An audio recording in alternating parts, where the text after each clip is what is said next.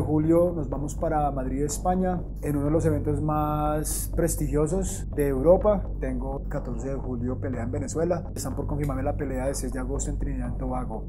Tengo otra nacional en Medellín, en el UGP, el 27 de agosto, y una marca que se llama Predatory MMA de México. Vienen a Colombia a hacer un evento de MMA y también me contactaron. Entonces tenemos cinco peleas en un periodo de dos meses.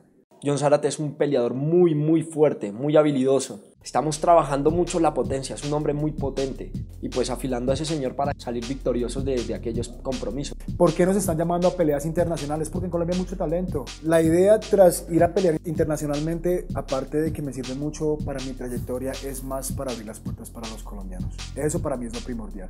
Ir a hacer un buen espectáculo, ir a ganar, ir preparado en todo sentido de la palabra. Cuando uno va internacional, uno tiene que apoyar a los, compañeros. Digamos, cuando AA se fue a México, siempre las buenas energías para él.